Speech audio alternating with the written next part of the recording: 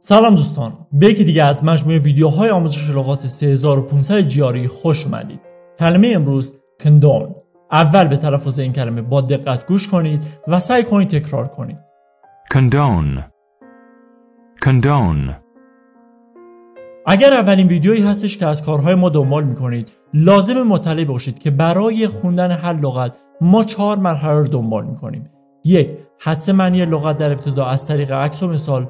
دو ریشه شناسی لغت. سه بررسی معنی کلمه از طریق دیکشنری لانگمن و چهار جمله سازی جهت تثبیت معنی. حالا بدون اطلاف وقت بریم مرحله اول حدس معنی لغت کندون. عکس اول. I cannot condone the use of violence under any circumstances. عکس دوم. Islam does not condone terrorism.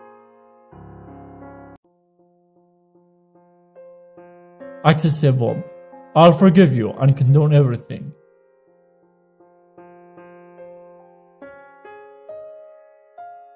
ریشه دان D-O-N به معنی هدیه یا بخشش هستش.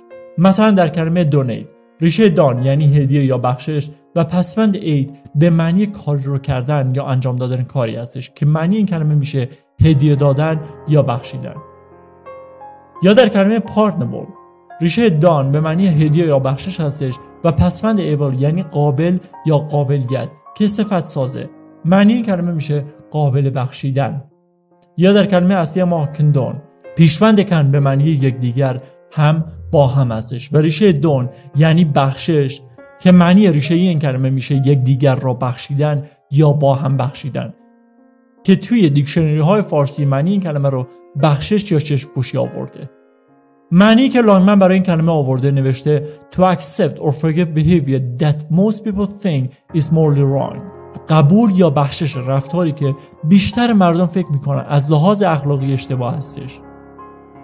از روی معنی که لاگمن آورده حالا می‌تونیم متوجه بشیم چرا معنی ریشه این کلمه با هم بخشیدن بود. چون اکثر مردم فکر می‌کنن این رفتار اشتباهه.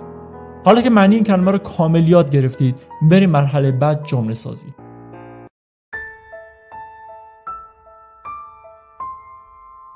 English for Life گناهش رو بخشیدی؟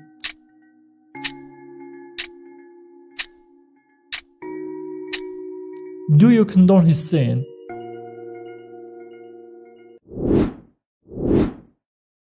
من نمی‌تونم همچین جرمی رو ببخشم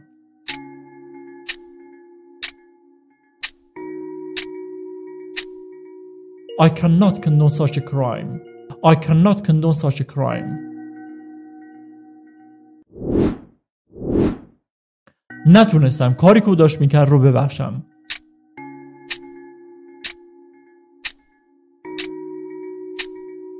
I couldn't condone what she was doing. I couldn't condone what she was doing. حرف آخر این که با ویدیوهای ما همراه باشید و یادتون نره کانال رو سابسکرایب کنید و زنگوله رو بزنید. موفق باشید. English for life.